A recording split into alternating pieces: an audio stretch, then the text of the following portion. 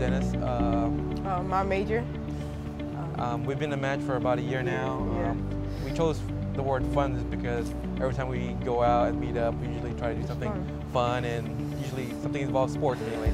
I didn't do a lot of the things and I just stayed inside. We get to tell each other things that um, I can share and like be just just to tell them anything and you just listen.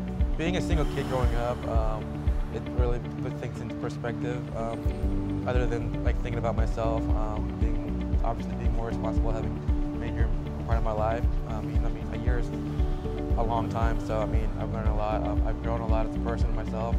So I mean, it's it's just it's a cool feeling. It's a cool experience, and I definitely want to keep this going, not just um, a year program. I know I, I said a year, but I think it's going to go for more than a year, and just watch Major grow, and we'll grow together and watch him. Um, we'll play more sports, and I'm sure he's going to get bigger as as I get, you know, well, same height.